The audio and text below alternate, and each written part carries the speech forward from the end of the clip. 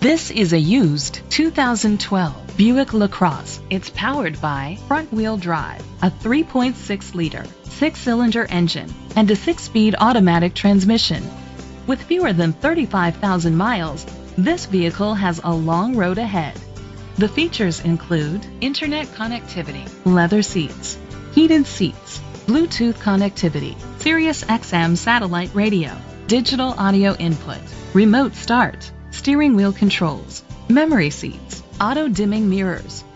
Safety was made a priority with these features. Curtain head airbags, side airbags, independent suspension, brake assist, traction control, stability control, a passenger airbag, low tire pressure warning, front ventilated disc brakes, daytime running lights.